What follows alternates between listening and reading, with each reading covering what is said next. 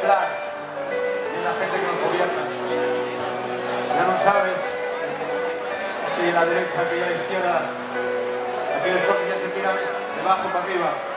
Siempre los de arriba están apretándonos a los de abajo.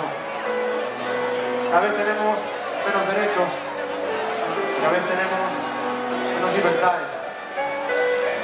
Hace muchos años, en plena guerra civil, nació una niña los padres quisieron llamarla libertad. Eso llevó yo muchas consecuencias. Los árboles bastante putres. Yo esos cojones por tener el valor en esa época de llamar libertad a una niña. Tuvo que cambiar el nombre. Porque si no, había tiro.